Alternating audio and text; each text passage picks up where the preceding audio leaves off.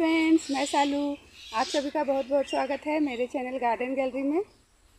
Cotton की किसी भी वैरायटी को आप कटिंग से लगा सकते हैं। बहुत ही आसानी से ये जो प्लांट है कटिंग से लग जाता है। कॉटन में बहुत सारी वैरायटी आती है फ्रेंड्स और सभी वैरायटी अलग होती है बहुत ही खूबसूरत होते हैं इसके जो पत्ते होते हैं अलग अलग तरह के डिज़ाइन के कलरफुल होते हैं। तो को, कोई सी भी वैरायटी अभी आप लगा लीजिए बहुत ही का प्लांट एक ऐसा प्लांट होता है जो कि एक पत्ती से भी ग्रो हो जाता है लेकिन थोड़ा उसमें टाइम लगता है एक पत्ते से ग्रो करने में इसे टाइम लगता है। इसे इससे अच्छा है कि हम इसे कटिंग से ही ग्रो करें। बहुत ही हार्डी प्लांट होता है और बहुत ही कम केयर में चलने वाला प्लांट होता। है अगर आपके पास टाइम नहीं है कि आप प्लांट की देखभाल अच्छे से कर सके, उन्हें खाद टाइम पर खाद दे सके, पानी दे सके तो इसके लिए जो क्रोटन का प्लांट है, इसकी कोई भी वेराइटी आप लगाइए। और बहुत ही कम केयर में चलता है। इसे पानी भी बहुत ही कम लगता है। जब प्लांट की मिट्टी आपको लगे कि ड्राई हो गई है, तब इसमें आप पानी जो है वो दे सकते हैं। और ज़्यादा धूप भी इसे नहीं चाहिए होता है, बल्कि हल्की ब्राइट लाइट में प्लांट रख देंगे तो बहुत ही अच्छे से ये चलता रहता है। क्रोटन का जो प्लांट होता है, आपका कभी ख़राब नहीं होगा। अगर आप इस प्लांट को ला रहे हैं नर्सरी से फ़र्स्ट बार तो जब भी इसकी मिट्टी बनाए तो इस प्लांट को केवल नॉर्मल मिट्टी में ही नहीं लगाइए। उसमें थोड़ी सी सैंड की मात्रा और थोड़ी सी गोबर की खाद मिलाकर आप इस प्लांट को किसी भी पॉट में लगा दीजिए। तो प्लांट जो है, आपका बहुत ही अच्छे से चलता रहेगा और कभी भी ख़राब नहीं होगा, क्योंकि आप देख सकते हैं मेरे सारे प्लांट जो हैं, इसी तरह से चल रहे हैं और पूरे बारिश में ये पड़े रहते हैं। तो इनकी मिट्टी अच्छी बनाइए तो प्लांट आपका हेल्दी ग्रो होता रहेगा। तो आप देख सकते हैं फ्रेंड्स ये सारे मेरे क्रोटन के प्लांट हैं। और ये सारे मैंने कटिंग से ही रेडी किए हैं और देख सकते हैं मेरा जो प्लांट है कितना अधिक भूसी हो गया है। जो क्रोटन का प्लांट है फ्रेंड नर्सरी में काफ़ी महँगे देते हैं, लेकिन मैंने ये सारे प्लांट जो है वो नर्सरी से ख़रीद के नहीं लाया है। और इसकी ही कटिंग ले लेके मैंने ढेर सारे प्लांट जो हैं वो क्रोटन के बना लिए हैं। मैं अक्सर आप लोगों को दिखाती रहती हूँ। तो अभी बहुत ही अच्छा टाइम है। अगर आप इस खूबसूरत और महँगे प्लांट को फ्री में लगाना चाहते हैं तो इसकी कटिंग लीजिए और इसे लगा लीजिए। इस तरह से आपका जो प्लांट है, एक महीने के अंदर फ्री में आपका क्रोटन का जो प्लांट है, वो रेडी हो जाएगा। फ्रेंड वाले जो क्रोटन की वैरायटी है फ्रेंड्स येलो डॉट वाली, इसकी कटिंग तो बहुत ही आराम से लग जाती है। कि आप कोई भी ब्रांच ले लीजिए, पतली से पतली ब्रांच भी आप, इसकी लग जाएगी, ऊपर से टिप पर से भी आप अगर लेंगे तो बहुत ही आसानी से लग जाएगी।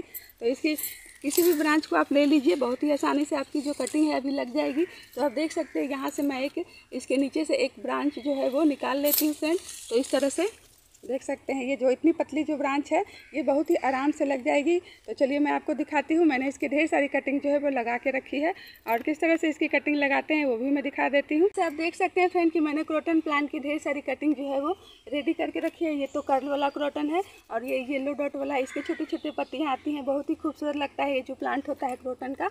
तो इसमें कुछ नहीं करना फ्रेंड बस इसकी एक छोटी सी ब्रांच इस तरह से, पतली सी ब्रांच भी बहुत ही आराम से लग जाएगी और इसे इस तरह से मिट्टी में दबा दीजिए और अभी किसी भी रूटीन हार्मोन के लगाने की ज़रूरत नहीं है क्योंकि बहुत ही अच्छा टाइम है, किसी भी प्लांट की कटिंग आप लगा सकते हैं।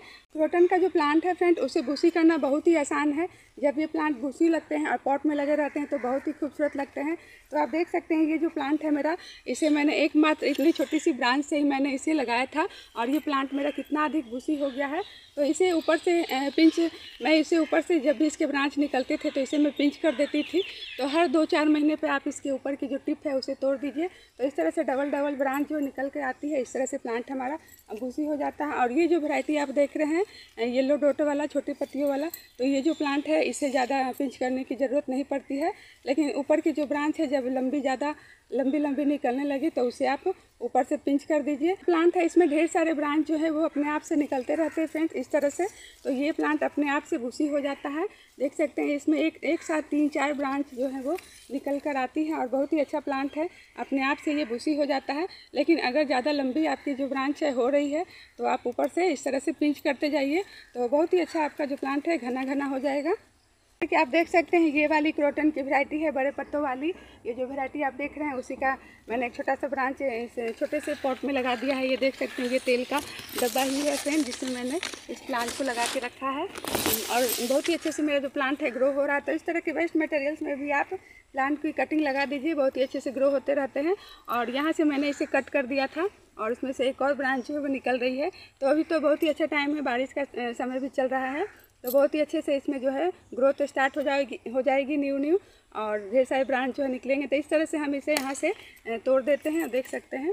तो इस तरह से जब हम ऊपर पिंच करते जाएँगे तो जो क्रोटन का हमारा प्लांट है भूसी होता जाएगा जैसे मैंने भी कटिंग से ढेर सारे क्रोटन प्लांट की जो वैरायटी आप देख रहे हैं सभी, ये सभी मैंने लगा के रखी है फ्रेंड तो कैसा लगा आपको मेरे क्रोटन क्रोटन प्लांट का कलेक्शन अच्छा लगा तो लाइक कीजिए, मेरे चैनल को सब्सक्राइब कीजिए और मेरे वीडियो को देखने के लिए थैंक यू फ्रेंड्स